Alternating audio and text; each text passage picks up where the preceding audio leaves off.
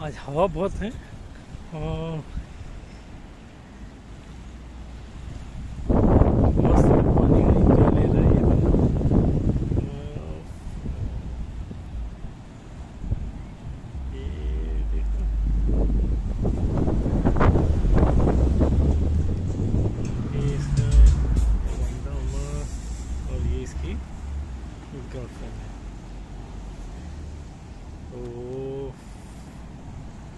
वाह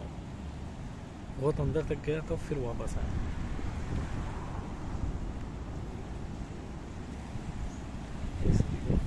वीडियो बना रही है